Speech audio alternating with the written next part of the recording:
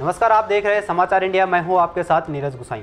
उत्तराखंड में भारी बारिश थमने का नाम नहीं ले रही है। बीती रात हुई तेज बारिश से हरिद्वार में आकाशीय बिजली गिरने से हरकी पैड़ी ब्रह्मकुंड के पास ट्रांसफ़र समेत दीवार क्षतिग्रस्त हो गई।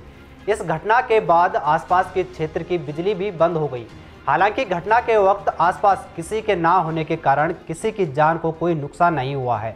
वहीं पुलिस प्रशासन और गंगा सभा के सेवादारों ने आसपास बैरिकेडिंग लगाकर श्रद्धालुओं का हर की पेड़ी ब्रह्मकुंड पर जाना रोक दिया, जिसके बाद क्षेत्र में फैले मलबे को हटाने का काम शुरू किया गया।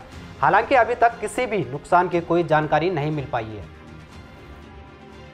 दूसरी तरफ़ एक बड़ी घटना सामने आ रही है। विकासखंड जौनपुर के थत्यूर क्षेत्र के अलमस गाँव में पुलिस प्रशासन की दादागिरी दिन प्रतिदिन बढ़ती जा रही है।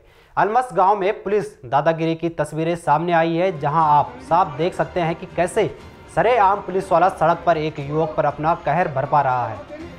पुलिस वाला इस युवक की कैसे धुनाई कर रहा है, उसे चलती सड़क पर पीटा जा रहा है। उत्तराखंड पुलिस का नारा है सेवा, सुरक्षा और सहयोग का। लेकिन उत्तराखंड पुलिस में तैनात कुछ सिपाही इस नारे पर कलंक लगाने की कोशिश कर रहे हैं।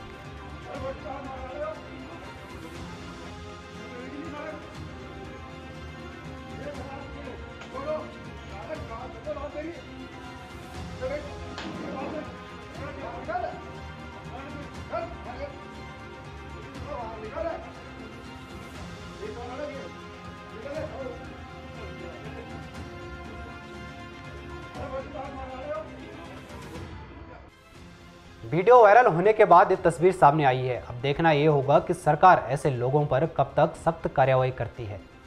इस रिपोर्ट में इतना ही। देश और दुनिया की तमाम खबरों को देखने के लिए जुड़े रहे समाचार इंडिया के साथ। खबर से लेकर असर तक।